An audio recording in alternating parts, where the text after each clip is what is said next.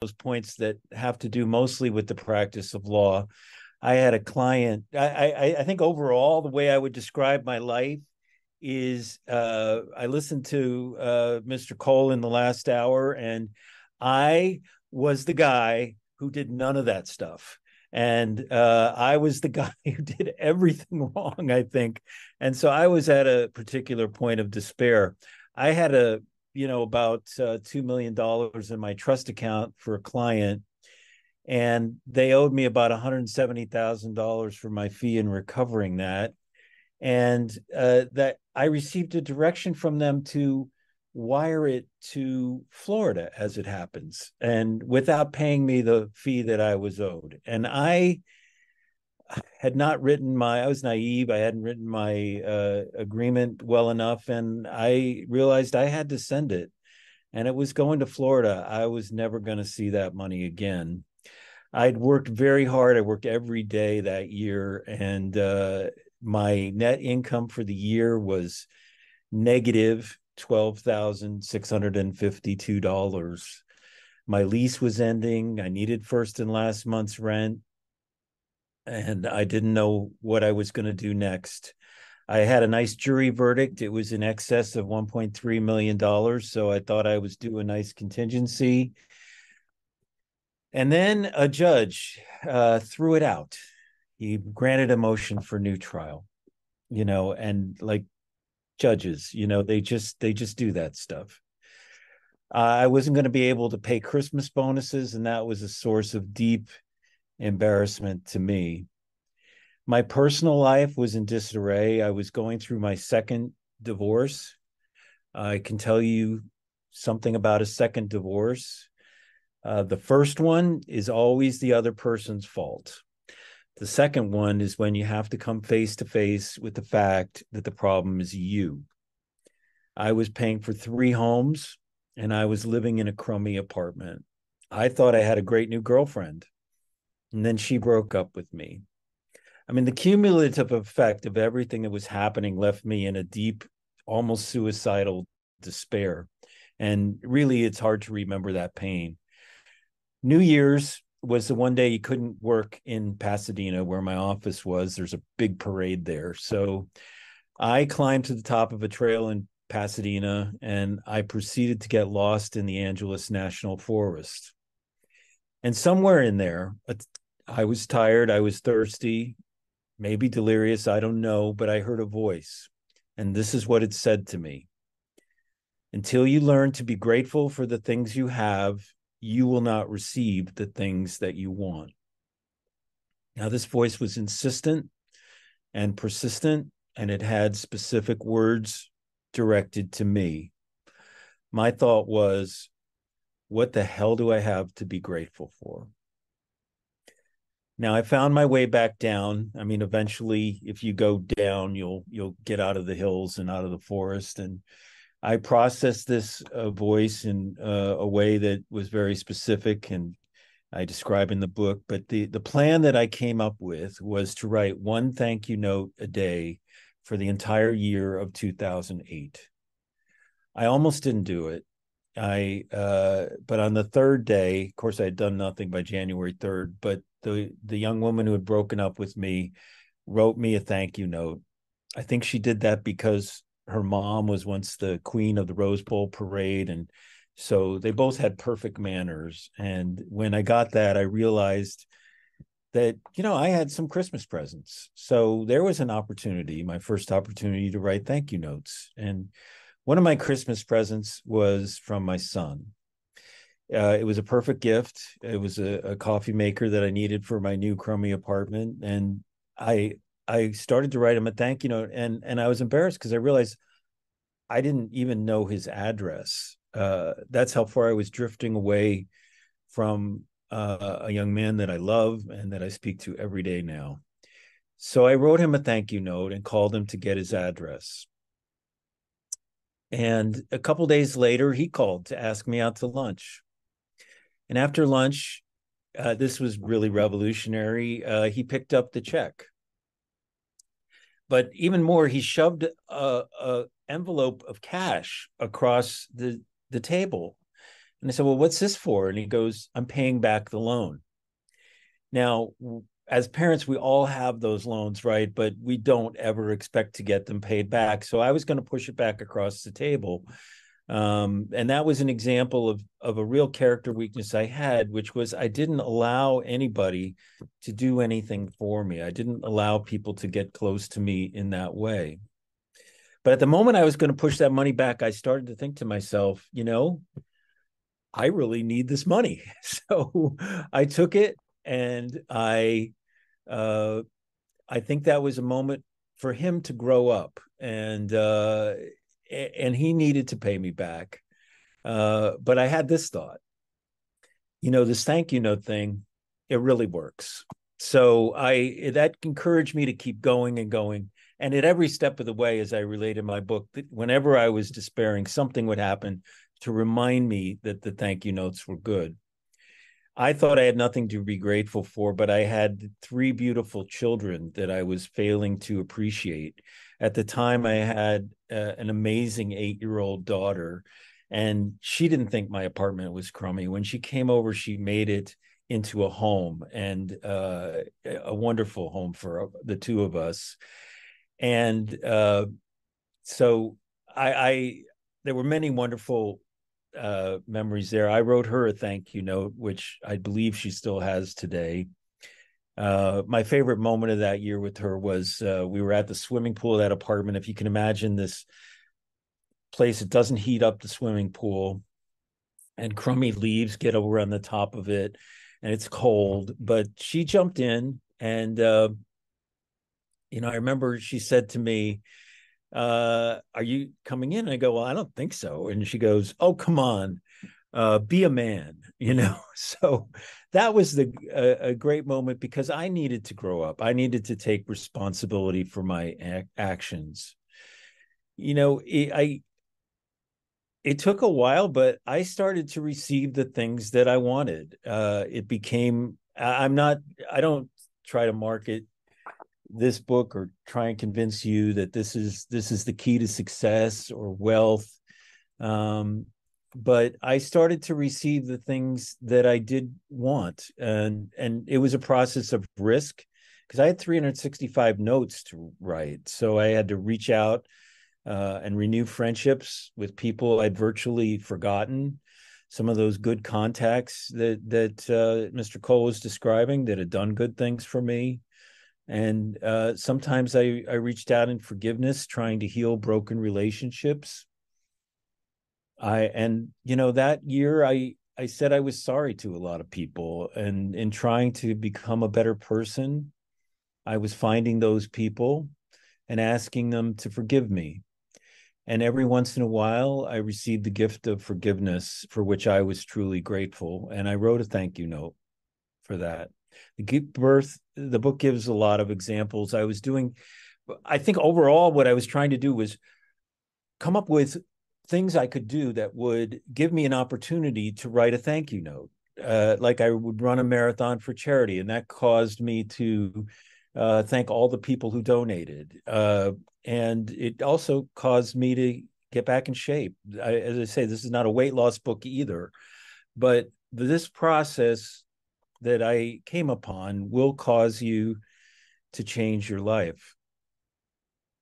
Now, I, I want to talk specifically about the practice of law. Uh, with regard to my clients, I was spending too much time on clients that weren't good for me, people who would uh, cheat you out of $170,000 of fees that you had validly earned by recovering millions of dollars for them, for example. Um, and eh, what I found was I had to let those people go.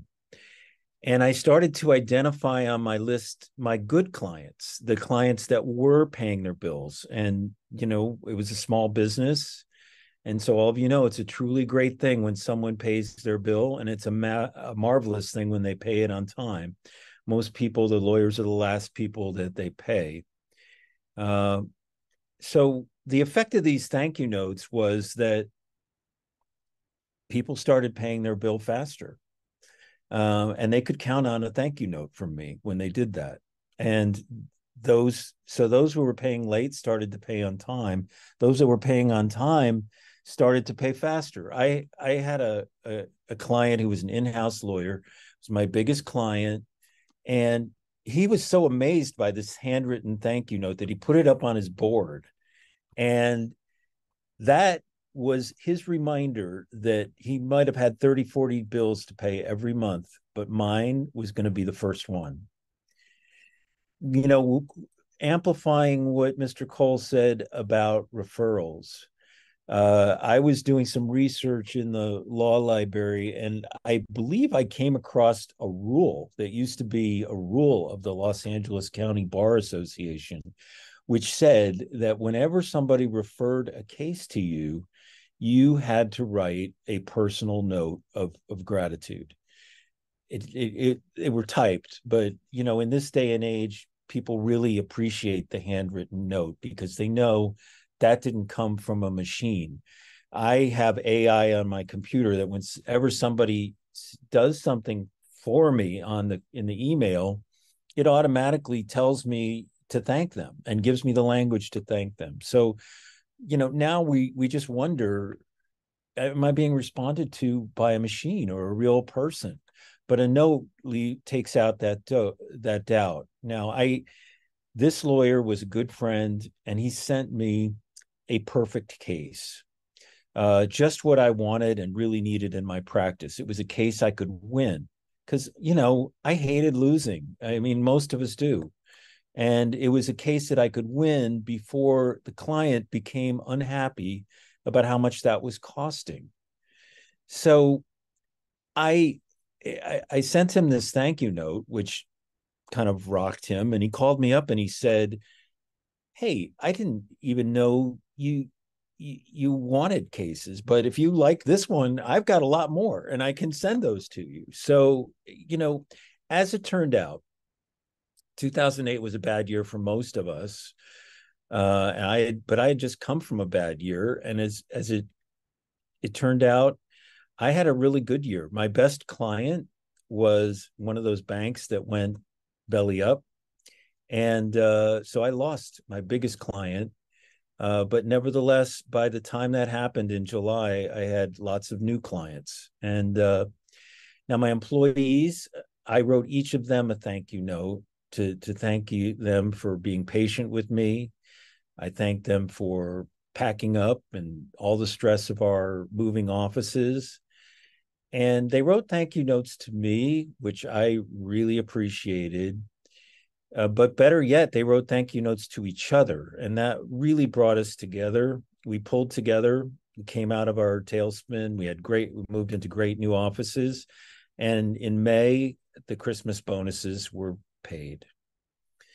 Now, writing a thank you note every day, you'll there's been a lot of research since I wrote the book, and and uh, gratitude is a kind of cognitive behavioral therapy, and uh, eh, you know, I found that when people would ask me, you know, how is it going, you know, I was one of those sad sacks who would say, "Oh, you know, okay," and then if they inquired further, I would tell some sad story uh, and I, but I started to change. I noticed, I and it was kind of automatic. You know, I just started saying what I was grateful for, and it was usually something I'd written about the previous night in my in my thank you note, and I I realized that that I was being transformed. Uh, one of the the big problems that I have, as I said, is I uh, I felt nobody was very grateful to me. You know, I thought people should be writing me thank you notes, right? And uh,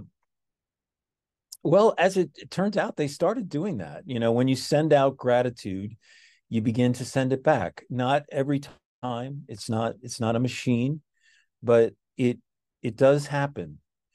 Uh, and you know, I also had a problem, as I said, receiving grace and help from others you know one example i'll have is always fighting for the check you know always never wanting to accept help from people who who offer it um you know i mean mr cole just graciously offered him himself you know and uh i in this year I decided, you know, oh, you know what? I'm going to go ahead. I'm going to accept that help. I accepted that money from my son, and the reason I did it actually in the in the near moment was because I I needed something to write a thank you note about if I was going to make 365. So, uh, but it it really helped me learn to get over a character defect I had of not being willing to accept help. You know, I I do I I'm going to skip over the whole story because I've got some other things I want to talk about, but you know, uh it also makes you more realistic uh writing thank you notes. Uh we all have a ledger in our head you know in which uh we are always ahead of the other person because of what they uh they haven't done for us and what we've done for them. But when i wrote thank you notes i started a ledger of uh of the people i was writing to and you know it could be partially your your uh, client development list that Mr. Cole was talking about.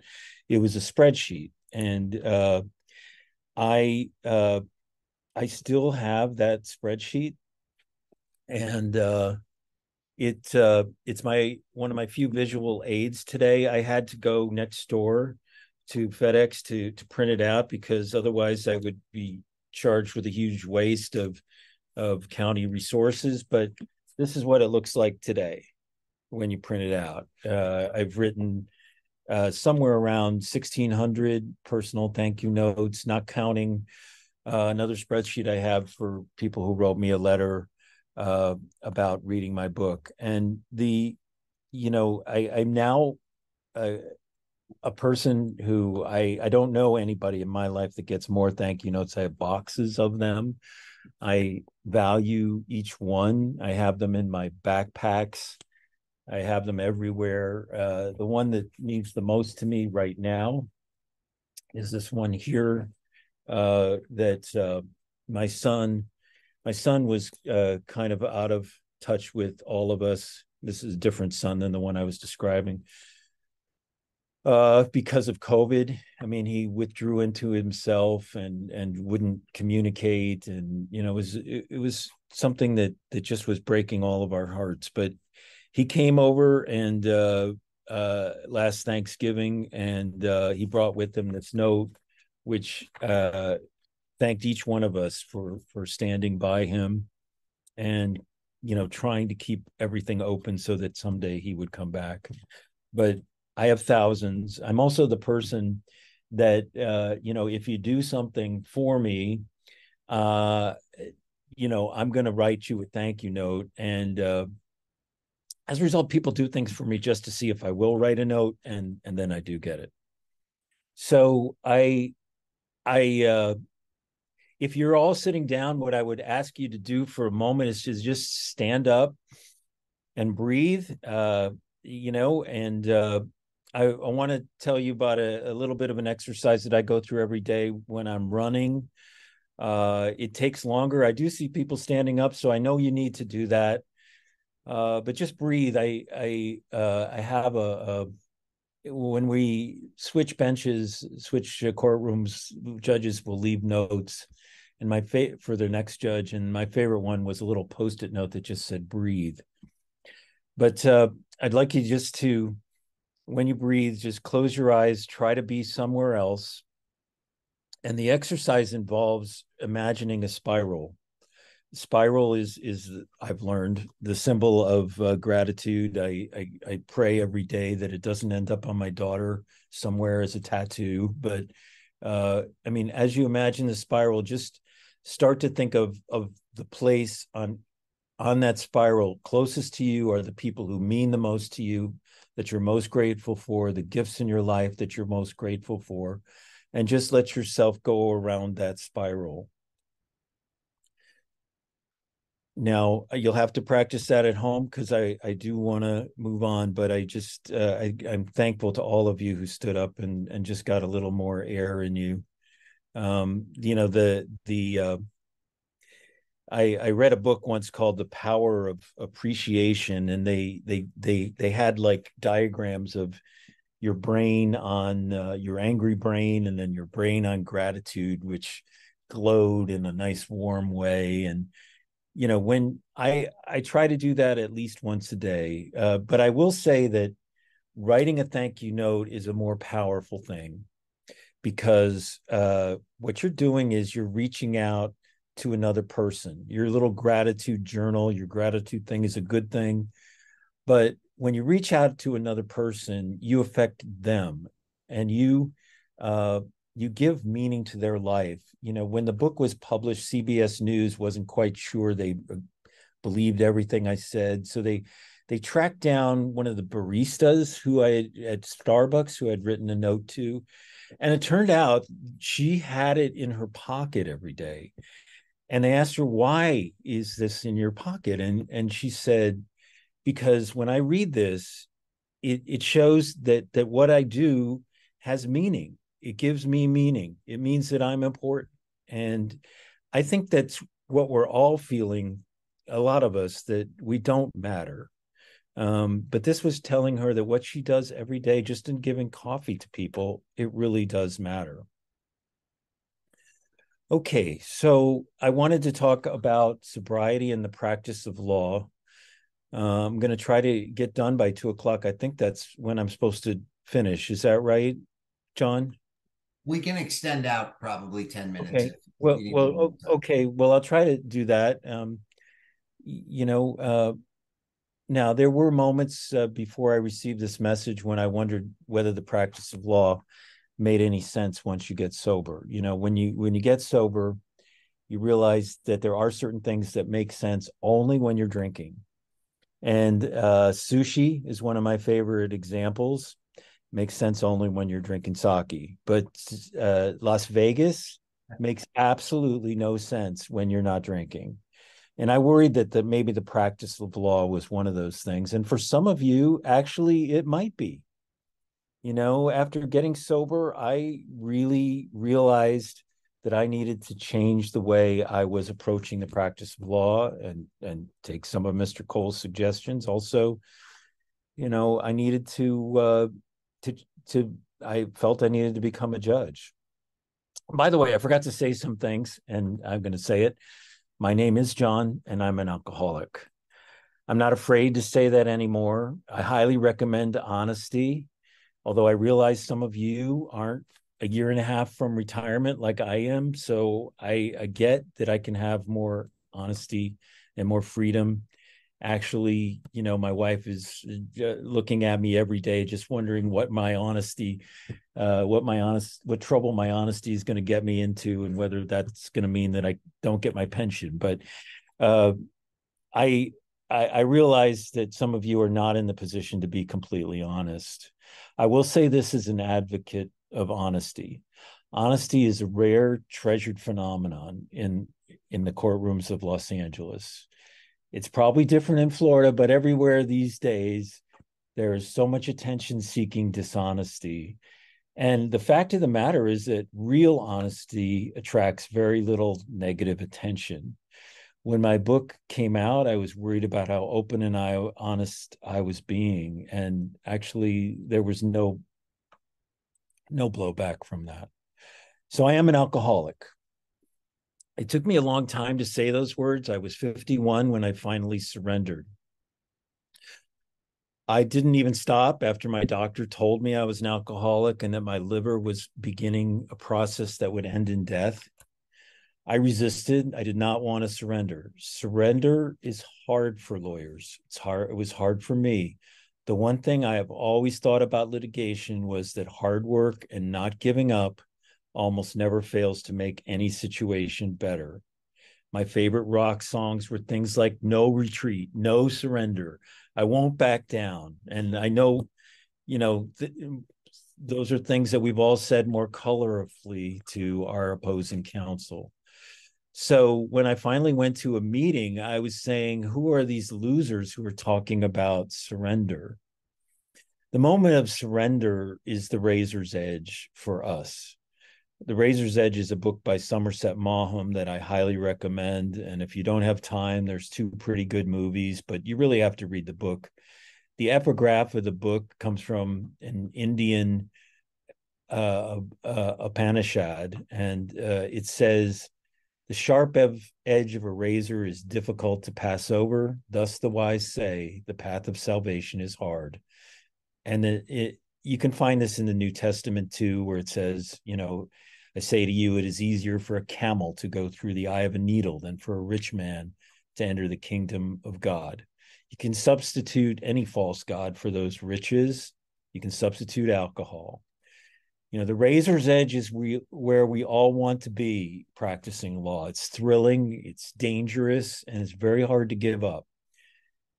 You know, eh, sim, 16 years later and i still have bad moments when i want to get back up on the razor's edge try a different drug another addictive app you know they're always saying this drug is not bad for you uh, another new drink you know there's always new drinks but there's also the thrilling job that's beyond your capacity. That that ability to to work the 14 hour days and make it stick. There's this great new case that you really can't handle but you're comp you you want to stay up on that razor's edge. The wind is blowing in your hair.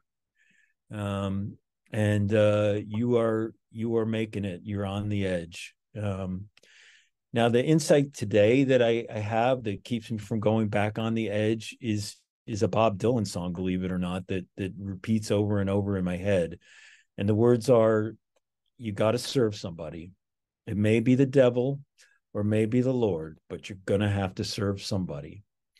And the song reminds me that uh, at the moment of surrender, I, I wasn't choosing to stay in the thrill. I wasn't choosing not to surrender.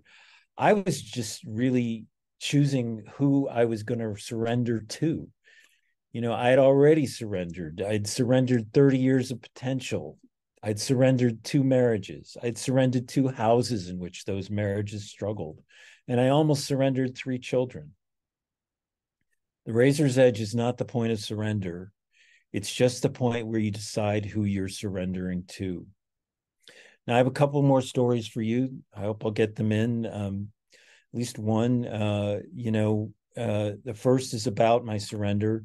Two days before I surrendered, I crossed the threshold of a state prison to conduct a deposition of a drunk driver. He'd killed two people while driving drunk in the wrong direction on the 5 freeway. At the airport, the only car they had to rent to me was a Chrysler Sebring. That was the very car that the drunk driver had been driving. That night, I was having some beers and eating dinner when I learned that I couldn't go into the prison in jeans. Now, you can go to the US Senate in jeans, I think, at least last week, but you can't go into the state prison in Jamestown, California in jeans. So I got up from the dinner and I went in search of a men's store. And in that area, fine men's clothing is available in polyester only and only in the men's section of the neighborhood Walmart. Luckily, they're open late. And then I drove back and re- had several more fine German beers. The next morning, we went into the prison. We sat at a folding table in a large gymnasium, and the defendant came in. He was 22 years old. He was in jeans, and he seemed to be afraid of me. Now, according to him, he'd been at a party he didn't remember. He believed that some jello shots were involved, but he was steadfast that nothing could be recalled. I had some good hotel coffee in me, and I was aggressive. This man was smaller than me, and I was going to go after him. I asked him about the young men he had killed. Do you know their names? I don't. Have you made any attempt to find out what their names are? My lawyer told me not to because of the legal proceedings. I said, Well, you, you killed two people that night, right? Yes. And you haven't even tried to find their names out? Now, at this point, the lawyer started interrupting me. You've asked your question, John. He's responded to you, but I wasn't going to be denied. And I was in a high moral state at that point. So I said, I would like one more response. You haven't tried to find out their names? No. And now I was in charge and I was very angry. So I take it you haven't apologized to any of these people. My lawyer's been telling me not to because of the proceedings taking place. Do you acknowledge any responsibility for what happened that night? I said. Of course, my actions were careless. Now the anger was rising in my voice. It's no longer just inside of me. Your actions were careless? Yes, I thought I had taken every precaution to make it a safe evening, but everything I tried to set in place just didn't take place. You recognize that you are responsible for the death and injuries that took place on the freeway that night? Yes. You don't contest that you were driving the wrong way on the freeway? I don't recall driving the wrong way, but those were my actions, yes. So this guy couldn't remember what it said in the police report about how he begged for a lawyer, how he worried incessantly about the damage to his own car while he was sitting in the police car. He was oblivious to the fact that India, innocent lives had ended. He couldn't remember getting in the car, etc. He was just a well-meaning good kid. He'd never been in trouble, didn't have a problem. But I'd sat next to his victim's mother in a conference room when the prosecutor handed over the photos of her son lying dead on the side of the road. A hopeful young life murdered by jello shots. And so I continued. I had not had enough. The transcript reflects a long battle with the opposing lawyer, which I'll leave out, but I was on a high moral plateau that morning and I prevailed. You say it was careless? Is that the only adjective you would use? How would you characterize your actions? He said, It's uncharacteristic of me. If I would see it from someone else's perspective, I would see it as careless. Now I was disgusted. You, would you see it as stupid? Of course. Criminal? Yes. And then I had the answer that I wanted. And we took a break. A hypocrite arose from my side of the table, having achieved this howl victory. The young man was not ready to admit he was powerless over alcohol. He may never be. But I was ready, and I was aware that I was the hypocrite in that room that young man may never receive peace for his torment, and I pray his story ends another way. My anger was truly with myself. For 30 years, I'd been killing the brain cells that had been God's gift to me. I'd been killing my power to distinguish myself and do something worthwhile in my life. I'd been killing the families I was trying to start. And the previous night, I might have killed somebody on the road. I'd been surrendering all right. It was time to surrender to God instead. I could give you a list of all the wonderful things that have resulted from that surrender, but it would take too long. There were two other defiant souls who started in the rooms with me. They didn't make it. One of them is described in that dark noir novel I told you about. You can read about it if you have the inclination. He blew his head off. My other friend drank his liver away. So, at the bottom of everything, I'm most thankful just to be alive and I've become reconciled to the good things I killed when I was drinking. Uh, the two marriages that I'll never get back. Sometimes when we kill things, they never come back to life, and we have to accept that. I want one more story, and that's a story about how honesty in sobriety is difficult and how it can be worth the cost. The story is in the book, but I left out some important details that I wasn't ready to share. I'd been a lawyer for about 30 years when I filled out the application to be a judge. It was a 60 page application for me. I had, of course, to say a lot of things about my career in that application. But then I came to a very difficult question. And the question was this Have you ever been treated for alcoholism? Well, the answer, I said to myself, is probably no. I wasn't sure. I'd never been to a treatment facility but I had been attending meetings of Alcoholics Anonymous, which, as I said, saved my life. I asked my sponsor at the time how I should answer the question. He was a retired plumber, but he told me exactly what I had to say if I wanted to stay his sponsee. He said, You say exactly this no, but I am a member of Alcoholics Anonymous. Now, not long after I submitted my application, I was interviewed by a panel of people who vet your application. And I was told that more than 50 people had written letters of support for me and that not one person had anything negative to say about me which was unusual because you know after 30 years most people have at least one enemy who's willing to say so so they were very surprised by that and that was all good. That was the first 2 minutes of the interview. Then they said they had one answer on my application that they wanted to talk to me about and that was the answer that the plumber had told me to put. So for an hour I was grilled about my drinking and whether I was really sober and how uh, my life had straightened out or not and whether I was going to go back to it. And I, you know, I was grilled for an hour by, I think it was five people on that one question. Well, at the end of it, I was exhausted and devastated.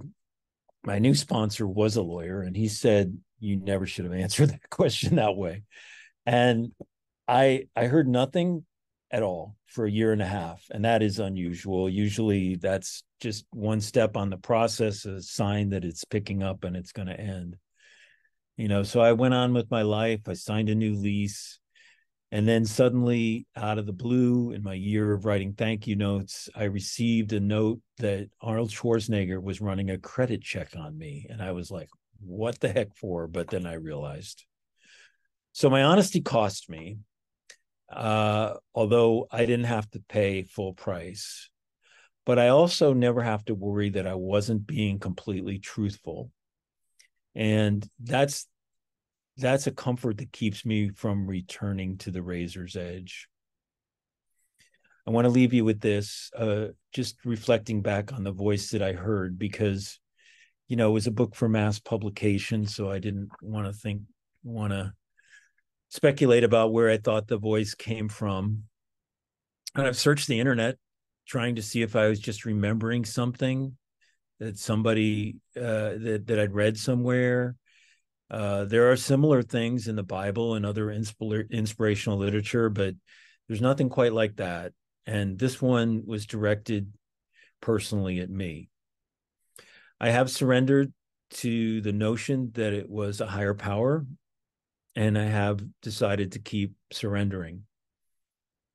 Now, God willing, I'm going to make it to retirement. You know, eh, I'm 68, so at any moment, you know, something could happen to us. As Vince Scully, uh, who was always the most beloved person in Los Angeles, used to say, we are all day to day. But God willing, I'm going to make it. And my retirement plan is to give the rest of my life to God. Now, for some of you, I realize the next step is unclear. You may bring your life back under control. I, I, I certainly recommend Mr. Cole's methods to to doing that. I, I think, you know, as I got sober, I, I think more of those things started to make perfect sense to me. I knew them, but I was disregarding them. Um, but you know, for some of you, the next step is unclear. So I just say, step down from the razor's edge. Don't go near it. And I would say, listen. In our cruel, pushy world, I think we need to stop and really say a few simple words more often.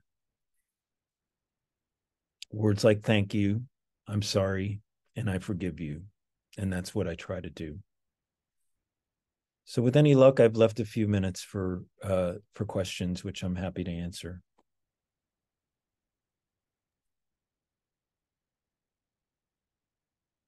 Um, I don't know, might be. Judge, just let me uh, jump in quickly on behalf of everybody here. I know John will be looking for comments and questions in chat, but what a what a wonderful message, and the, I just am again just so I guess grateful is the word, right? How you how you describe in very practical terms what the mechanical act of gratitude produced for you and produced around you and the things you describe getting are the things that um, I think we all want. It was just, it was beautifully done, Judge. Uh, John may not give me a book, but I'm going to buy one. And thanks for being here. Back back to the well, group. Well, I say I, I was very you know down about my life and and whether it was any good or not. Um but you know when i look back today and i look at this spreadsheet i you know i many of these gifts were already in my life. I just didn't realize it. I just didn't recognize it. I didn't realize people were trying to help me. I didn't often enough realize people were trying to love me you know it was true. It's true. Um and so often based in the fear we can't get out of so um, it's great John, do you have are there? I, am trying to see. I guess we're. I guess we're uh, in good shape on that question. I, uh, it's hard to talk after that. It's uh, there's a lump in my throat, Judge. That was just special, and really appreciate it. And and from the comments here, it looks like a lot of people feel the same. Um, got the first comment was they just bought your book online, so. um, but says a great program. I'm really moved by this comment that just has all caps unbelievable. I am challenged because you know this is something we can all do, and I want to thank you for laying that out for us and the possibility. And, my wife and I fight over the book that you sent me that you so generously autographed, and uh, you know the lessons are are wonderful, and hearing you describe it in your own voice was really, really amazing for us. So, well, I'm very grateful to to be here. I didn't, I don't, uh, I, I'm not a speaker or anything. Obviously, I've got a day job, and um, you know, as you get older, it gets harder and harder to get that day job done. you know? and, uh, uh, but uh, you know, I obviously I care about people who are struggling with drugs and alcohol. Well, and and and with every issue it seems you uh you know you you don't seem to discriminate about what they're they're struggling with. So no. we appreciate that. Appreciate that. Your honor generosity uh thank you. And uh we'll be in touch. We will okay. Be... all right. Very good. Thank, thank you judge beautiful, beautiful. take care everyone you too god bless you all god bless So John, you may you may have a wrap up, but if I could just say congratulations on a five hour CLE program that ends at five after five. That's doing pretty darn well. So uh, well done. I and I know many of the panelists have, have have already left, but I want to thank all of them again for just a, really making for a very special afternoon for for me, and I hope for many more than me. Uh, and uh, for all the participants and, and uh, visitors who showed up today, thank you for being here. Uh, I'm so glad we got to spend this this time together and kind of take in what we got to uh, to hear today together. And um, so uh, I wish everybody a great weekend and and uh, thanks again uh, FLA staff for all the hard work that went into this and that wasn't the formal close. So John, I'll, I'll turn it back to you with my thanks for for putting together such a great afternoon. And don't close this out, Dan, when we do finish here, because I want to um, capture some of the comments to send to the judge. But uh, I want you'll look at the screens, you'll notice the reference number is up for the workshop. Five CLEs general and the specialty CLEs, professionalism, mental health and wellness, substance, ethics, and bias elimination are all outlined there in their numbers. I'd encourage you to pull out your phones. Um, I we also can we can put this online without the reference number. So if you have any question about the breakdown, I'll see if we can't get this posted to our website when we post the videos. That will probably be about 14 days before we can get the videos up, particularly since um, we're going to, we're many of us will be out of the office next week for a lawyers uh, assistance conference. Any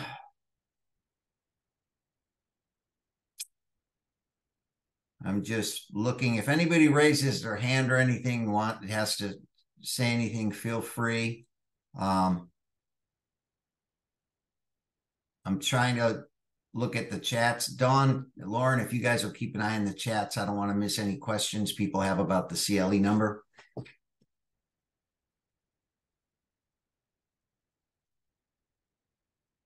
Is this helpful with the breakdown?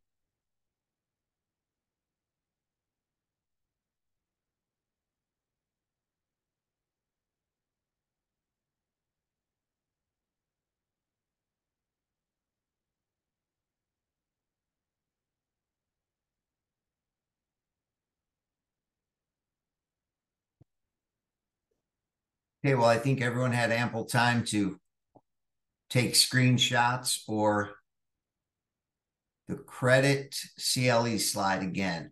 Well, I just got a text. Do you mean the, Maybe that she doesn't see the number at the top.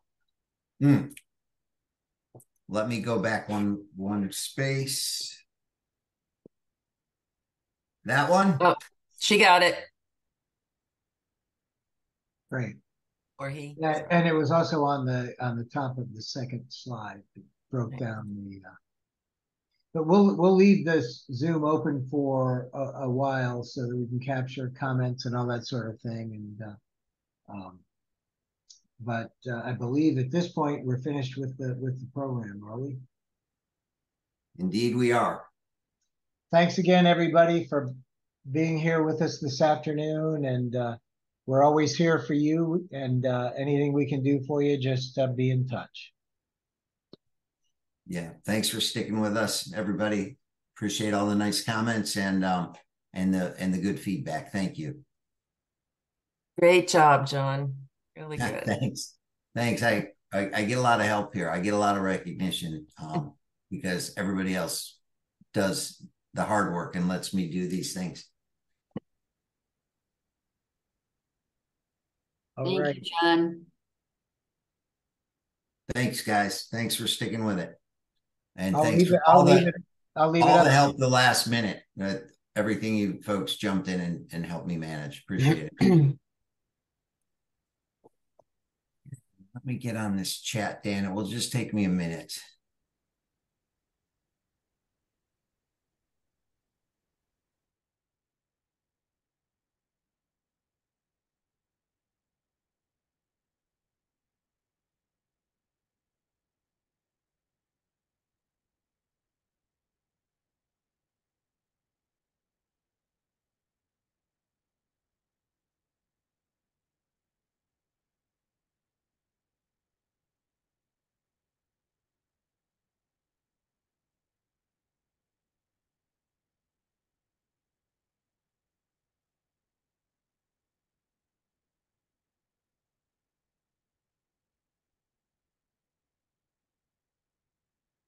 I'm going to stop share. Thanks again, John. That was a really pleasant surprise and I appreciate it. Diane Holmes, you, um, I'm assuming Elaney has your address. We can mail you the book. Yes, you do. Okay, Yeah, great. Based on, based on these afternoon presentations, we gotta get everybody's, yeah, physical addresses. I got a lot of notes to write here. But Diane, Great. great to see you. Thanks for all you're, you're doing to help out. Sure. Glad to. Glad to. Somebody's asking a question, John, about the course type. Is it a webinar or classified as online? And I think that's what they're asking about in posting their CLE credits or something. Yeah, webinar. And we actually characterize it um, as webinar, live and online, because we do post it. So Mhm. I don't think you can go wrong there, but definitely webinar live if you were here today. Mhm.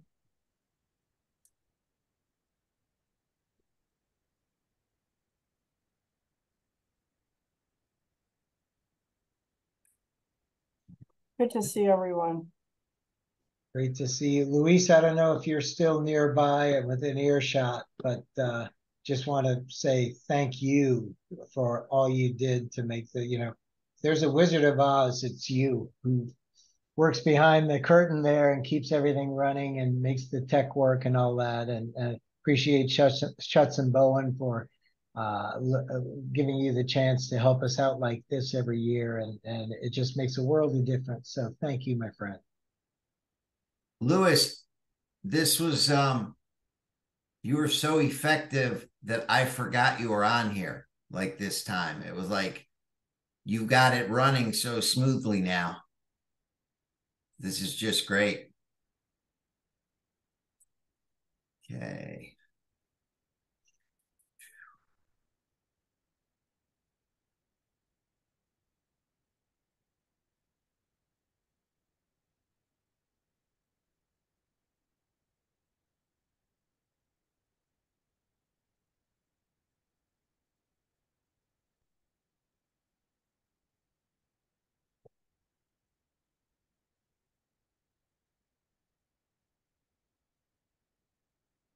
Okay, I've got everything I need pulled off there. And y'all from down there, let me know if there's anything else you need me to do up here in Orlando. Oh, I'll be in Orlando um the 23rd and 24th and 25th of October. I will make sure I give you a call. Um and we've got some visits to do. They've been invited over to um Morgan and Morgan and have some uh some a couple students there who are doing great. Um, it'll be fun to get a meeting in with some folks. Okay. Yeah, just let me know. All right. Lewis, I won't call you at six in the morning or after 11 o'clock at night until next year. Uh, same time. Dude, I can't thank you enough, man. Can't thank you enough. Can't hear you either.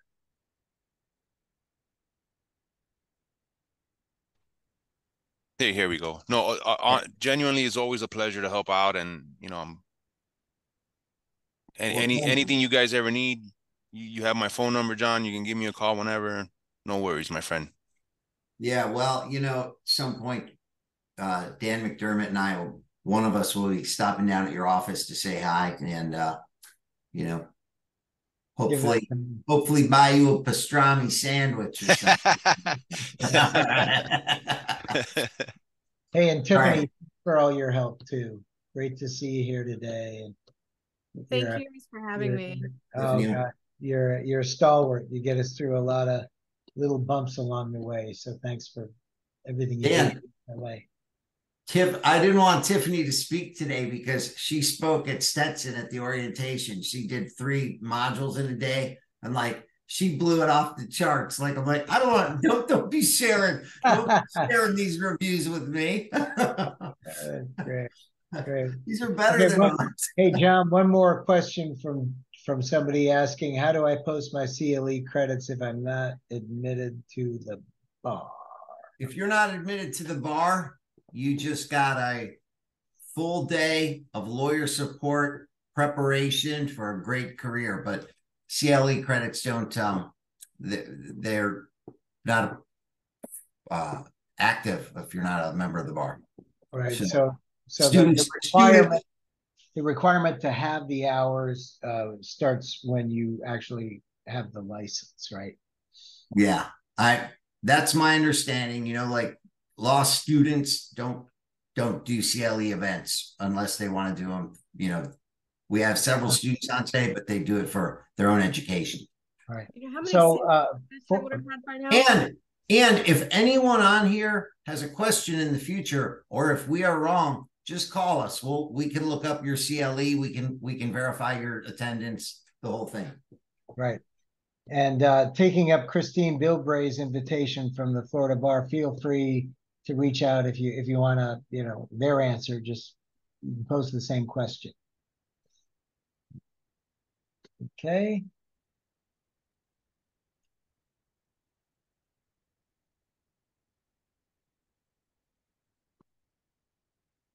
All right. Alrighty, I don't want to close it down uh prematurely, but um. John, if you have everything you need, uh. And and we've accomplished the program, then I don't want people to feel they have to stay, so. We can bring it to a close. Give me one second here.